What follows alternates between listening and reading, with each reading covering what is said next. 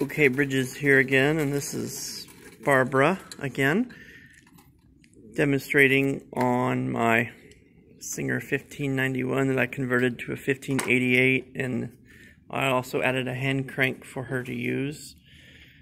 Um, this is a machine that was made from three different machines that I bought over the course of several years uh, in Ponca City. Uh, and uh, it works real nice. As you can see, she's making squares, as she described earlier, for the steam engine show coming up. Squares for the quilt we're making. For the quilt for the steam yeah. engine show, yeah.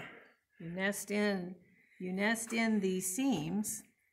It's what it's called. I'm a, I'm kind of a beginner quilter, Wes, but I've I've learned quite a bit from the friends who have taught me.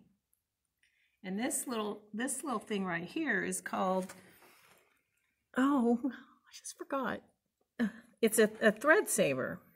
And so it's the handiest thing. You can take and stitch on it. You don't have to cut threads. The threads don't go down below where the bobbin is. And you can just start right in there and it saves thread. Thus, that's why it's called a thread saver. And that's this little piece of fabric right here? That's right. And then just you just clip it off when you finish that particular round. And the nesting of the seams is so that when I come to iron this, and I should be ironing these along the way, but I forgot my iron today. And so you just nest those in so that the seam is not so thick that you can't sew your sashing with it and the rest of the sewing. If if a person were to be able to do the top stitching on all of this to perform the quilting method, you want you don't want different varying thicknesses. And if it goes to a professional quilter, they don't want thicker varying thicknesses. It's it's harder to uh, get things accomplished. I see. Okay, so then you just take clip this off See, there's just not very much there that I'm wasting. You stick it back in there. And of course, this is a hand crank. You can do this with an electric machine as well. I happen to, my favorite machines, since Wes introduced me to the hand crank, are the hand cranks. and why is that? A lot of people are skeptical when I tell them that somebody really likes the hand crank machines. Well, I like the hand crank because of the control. I can I can just sit here, I can start, that I can do a chain underneath. It's not going to go down below and tangle around the bobbin. I I've sewn for well since oh what year were that? Since 1964.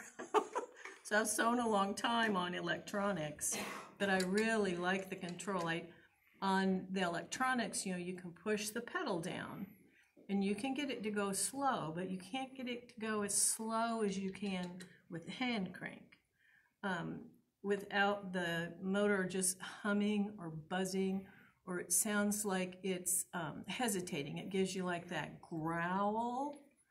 And this, I'll show you on this sample.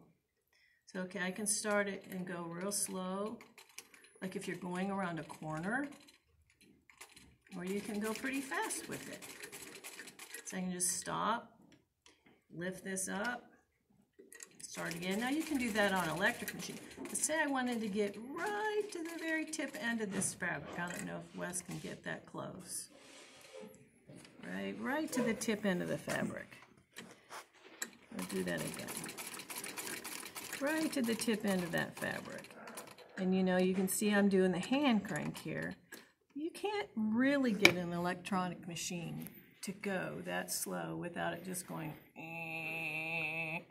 and then you have to use use the wheel. So that's one of the reasons I really like the hand crank. Okay. Plus, plus I, I get to participate with history. I enjoy that part. Well, Barbara, thank you very much for answering these questions.